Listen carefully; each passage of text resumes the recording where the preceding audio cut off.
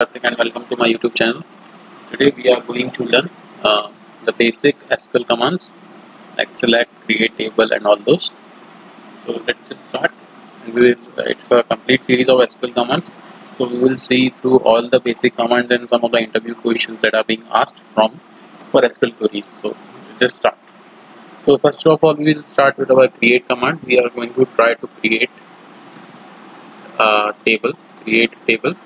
Uh, this is the command and what you should provide the name of the table so let it be name be demo 1 and uh, now we have to provide the values.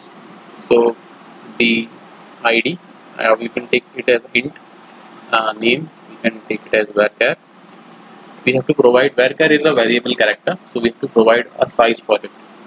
So let it be 20 and uh, I think city. So varchar 25 I guess so now just we have to hit enter and our database is created. I am using uh, Oracle database. See I am using this command from window only for your business purpose because it is much, it will uh, create some errors and it will help you to learn better. If you provide just some kind of ID directly then it's not going to be that helpful because it will uh, provide inbuilt support and just drag and drop. You are not be able to learn queries properly so we should just uh, see the table. So if we want to see the um, uh, structure we should go for the DESC that is the describe and table name that is demo 1 so this is table uh, this is going to describe the entire structure of the table. So here it is. So its id uh, name city. So oracle is not uh, case sensitive. So whatever we provide the name in small capital small letters we are getting it in capital. Okay. So now we should try to select we want to fetch data from our table. Right now we don't have any kind of entry in our table so if we try to fetch we are going to get nothing. So we the syntax is select all. Uh, the star is used to represent all. Okay so select all from the table name. So table name is demo 1 and if we try to fetch it is say that no row selected which really means that uh, right now no rows are present inside a table. So now we will insert some data inside our table um, insert into the insert command is used to add data in the table. So insert into table name that is demo1 and the values. We can directly provide the values. Uh, conditions applied, it must be in the same order. So right now we just want that is first is the ID, then name, then city. So we just try to insert the data, we will provide an ID equal to 1. Uh, the varchar value should be inside single quotes, okay? So name can be Kartik and uh, city could Bhopal uh, so this is our data values one and uh, that is the id name and city. We just try to insert it.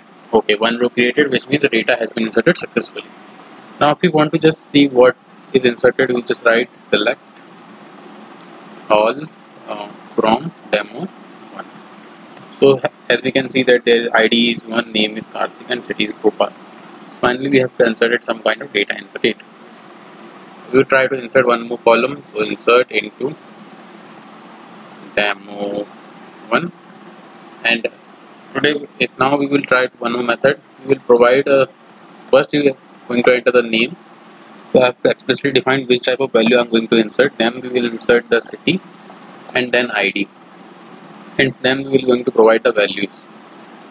Now I have to provide first the name. So be Akash uh, and then the city is Amla and finally the ID. So now just try to insert.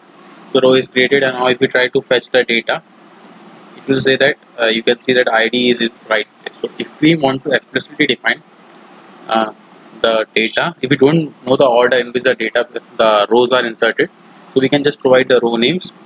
So they are going to be in right order. If the order is not same, then it's going to give any type of error or something like that so i hope you are able to understand the select command. Insert table and uh, insert uh, two types of data. Two methods for inserting data. Direct inserting the values and inserting the value by their names. We have also seen the select command. Uh, so thank you. If you like the video please rate comment subscribe. In the next videos we will see some more questions and queries